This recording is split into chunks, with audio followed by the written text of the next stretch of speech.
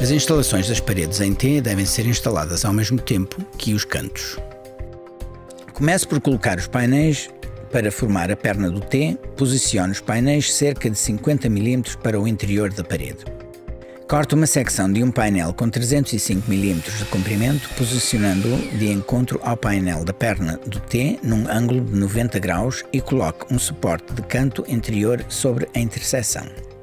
No topo do T, colocar um painel completo de forma que uma das suas extremidades fique alinhada com a secção cortada de 305 mm já colocada no lugar.